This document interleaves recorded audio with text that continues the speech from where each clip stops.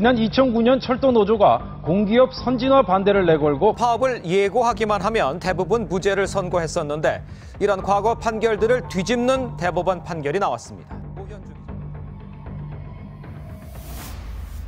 그 대법원에서 내린 판결 같은 경우에는 과거에 만들어놨던 법을 자기들이 스스로 지금 위반하고 있는 것이거든요.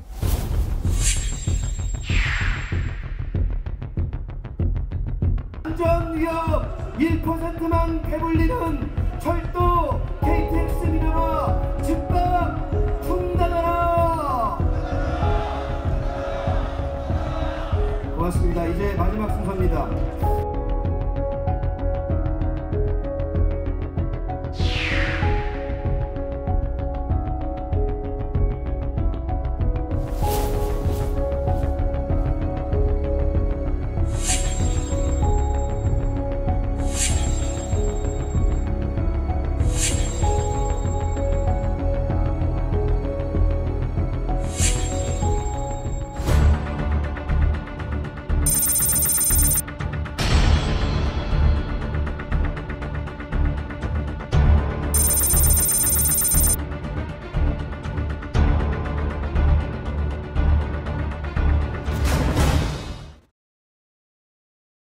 분명히 판결을 보면 우리는 전화합치 판결에 따라서 판단하고 있다.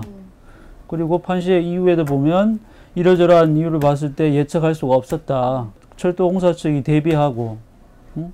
사전에 알고 심지어 비상소송 대책을 세우고 노조에다가 파업 자제 호소를 하고 이런 사안에 이런 사안을 두고 예측하지 못하였다? 그게 어떻게 우리 국어 어? 문법상 가능한 판결이 나올 수가 있습니까? 그거는 판례를 옛날로 돌아가서 파업을 하면 무조건 이거는 위력에 해당이 된다. 라는 식으로 과거로 돌아가든지 그렇게 가고 싶으면 예측할 수 없었다가 아니라 음?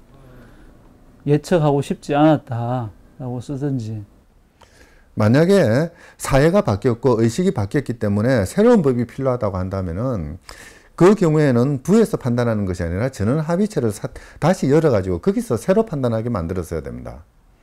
근데도 이번 판결 같은 경우에는 전원 합의체의 사건을 회부하지 않고 자기들이 스스로 기존에 있는 전원 합의체 판결을 번복한 셈이 돼버렸거든요.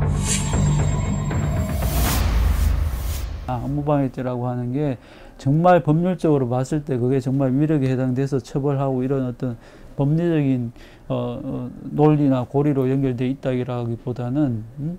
그냥 이것은 노동조합의 파업권이나 단결권을 음?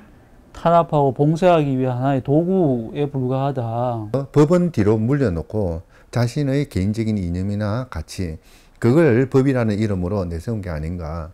다만 그럼에도 불구하고 문제적인 것은 법이라는 것은 항상 일관되어야 되고 어, 어떤 국민들이 신뢰할 수 있는 것이어야 됩니다.